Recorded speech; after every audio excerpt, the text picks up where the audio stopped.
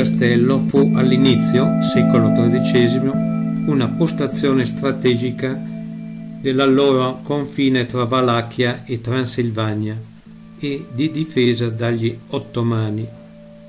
Il castello in muratura fu eretto nel secolo successivo e nella sua storia ebbe modifiche ed ampliamenti, nonché diverse destinazioni.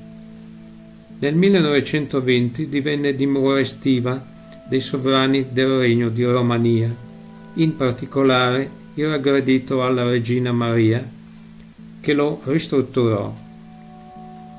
Resta però sempre un brutto castello. Dopo la formazione della Repubblica Romena, gli eredi dispersero tutti gli eredi per rimpiazzarli con altri mobili. Il castello ha ispirato lo scrittore Bram Stoker per il suo romanzo di Dracula, ma non è il castello di Vlad l'imperatore.